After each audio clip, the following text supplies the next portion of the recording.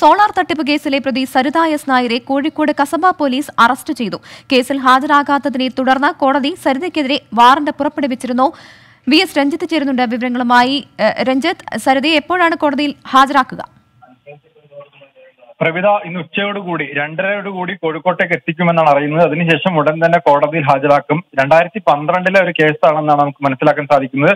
അബ്ദുൾ മജീദ് എന്ന് പറയുന്ന ഒരു വ്യക്തിയിൽ നിന്ന് നാൽപ്പത്തി മൂന്ന് ലക്ഷത്തോളം രൂപ സോളാർ പാനൽ സ്ഥാപിക്കുന്നതിന് വേണ്ടി സരിത വാങ്ങിയെടുത്തു എന്ന കേസിലാണ് ഈ തട്ടിപ്പ് കേസിൽ നിരവധി തവണ കോടതി സരിതയ്ക്ക് വാറണ്ട് അയച്ചിരുന്നു. അപ്പോഴൊന്നും സരിത ഹാജരാവില്ല. അതിനെ തുടർന്നാണ് കോഴിക്കോട് കസബ പോലീസ് തിരുവനന്തപുരത്തെത്തി സരിതയെ അറസ്റ്റ് ചെയ്തിരിക്കുന്നത്.